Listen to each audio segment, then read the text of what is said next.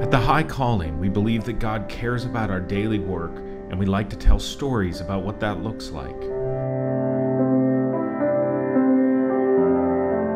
So, along with our friends at Christianity Today, we're starting a contest to find some of the best stories out there.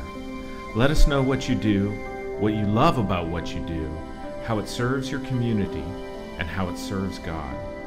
We'll pick the top submissions and send a video crew out to help tell your story. You can see the details below.